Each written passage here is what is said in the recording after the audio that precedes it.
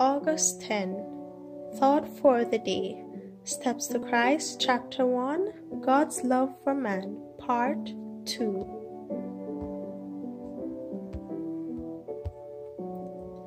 The Word of God reveals His character. He Himself has declared His infinite love and pity. When Moses prayed, Show me thy glory, the Lord answered, I will make all my goodness pass before thee. Exodus 33, verses 18 and 19. This is his glory.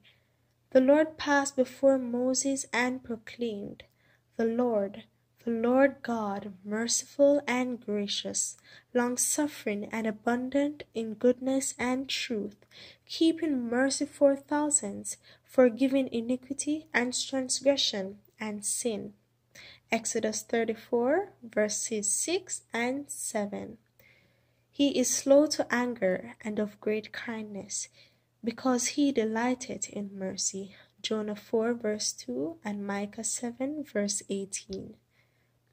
God has bound our hearts to Him by unnumbered tokens in heaven and in earth. Through the things of nature and the deepest and tenderest earthly ties that human hearts can know, He has sought to reveal Himself to us. Yet these but imperfectly represent His love. Though all these evidences have been given, the enemy of good blinded the minds of men so that they looked upon God with fear. They thought of him as a severe as severe and unforgiving. Satan led men to conceive of God as a being whose chief attribute is stern justice, one who is a severe judge, a harsh, exacting creditor. He pictured the Creator as a being who is watching with jealous eye to discern the errors and mistakes of men, that he may visit judgments upon them. It was to remove this dark shadow by revealing to the world the infinite love of God that Jesus came to live among men. The Son of God came from heaven to make manifest the Father.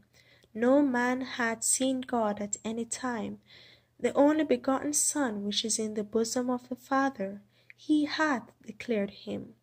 John 1 verse 18. Neither knoweth any man the Father save the Son, and he to whomsoever the Son will reveal him. Matthew 11 verse 27.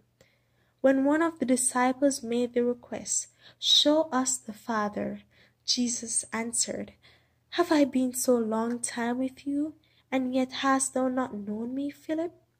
He that hath seen me hath seen the Father, and thou sayest then, Show us the Father? John 14, verse 8 and 9.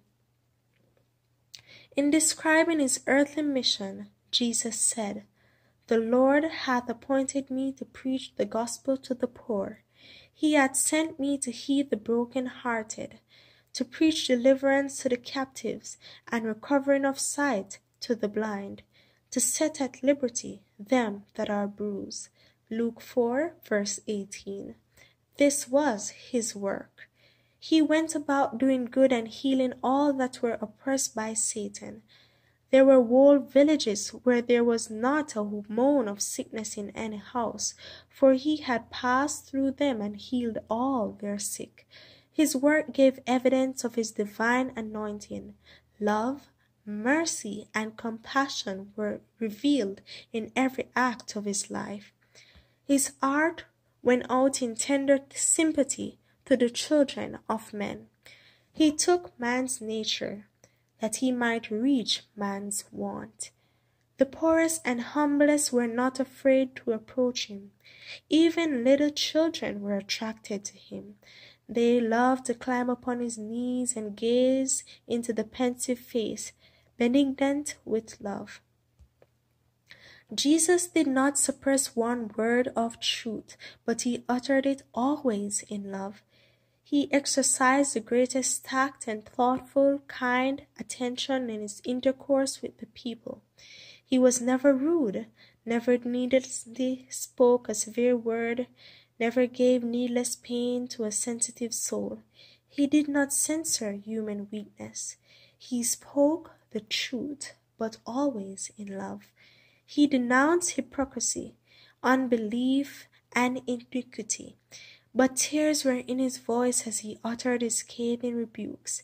He wept over Jerusalem, the city he loved, which refused to receive him, the way, the truth, and the life.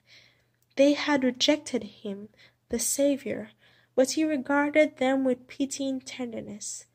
His life was one of self denial and thoughtful care for others.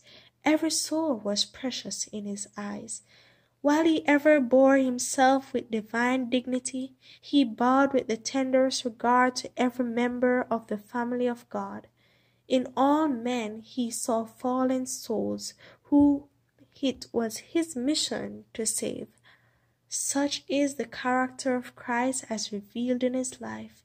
This is the character of God. It is from the Father's heart that the streams of divine compassion, manifest in Christ, flow out to the children of men. Jesus, the tender, pitying Saviour, was God manifest in the flesh. 1 Timothy 3, verse 16. This is the end of part 2. Have a blessed day, everyone.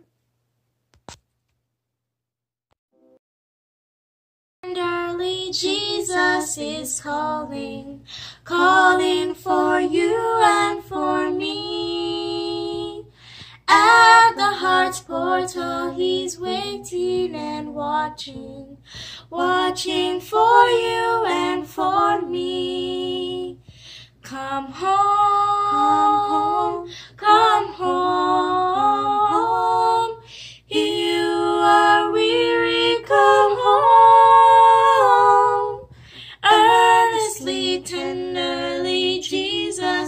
Jesus